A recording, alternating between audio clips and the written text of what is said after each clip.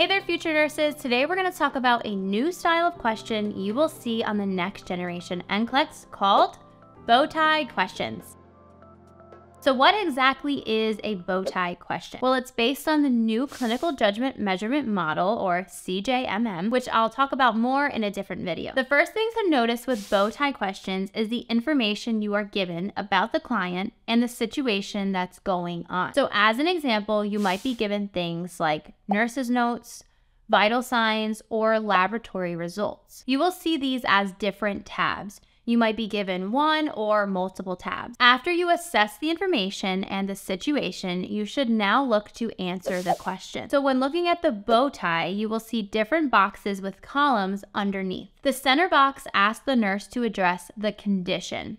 So based on all the information above, what do you think the patient is most likely experiencing? Before you say, wait, wait, wait, nurses don't diagnose, we're not diagnosing this patient because nurses don't diagnose. But we do need to have an idea of what is going on in our patient. It's all about recognizing those cues because oftentimes nurses are the first ones to pick up on those cues or a status change. The two boxes on the left asks what two conditions the nurse should take based on the condition you just chose. And the two boxes on the far right asks what two parameters should the nurse monitor to track the client's progress. Okay, now that you've looked at all the information given to you, you're now ready to answer the question.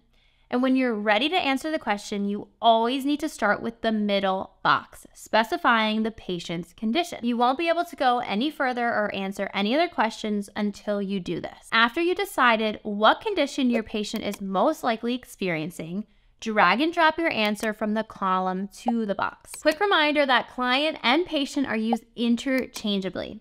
On the NCLEX, you'll most likely see client being used.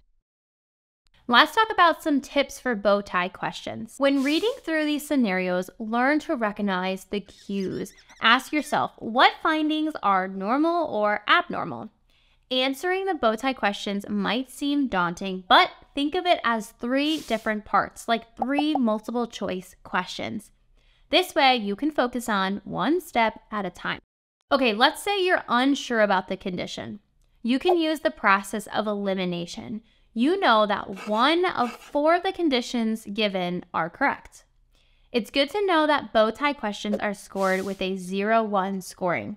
This means you will receive one point for every correct answer and for any incorrect answers, you will receive zero points. This means that incorrect answers don't count against you. Bow tie questions have five potential points you can earn. So keep that in mind when you're answering it. Partial credit does apply to these questions. Overall, remember that answering a bow tie question has multiple steps involved. Take each column one by one. For more NCLEX tips like this, be sure to check out the complete NCLEX study notebook. It comes with a calendar to write your NCLEX study plan, must know signs and symptoms, and NCLEX facts. If you want all this for the NCLEX, be sure to check out the link in the description below. Be sure to like and subscribe for more videos on the next generation NCLEX and all things nursing school. Happy studying, future nurses!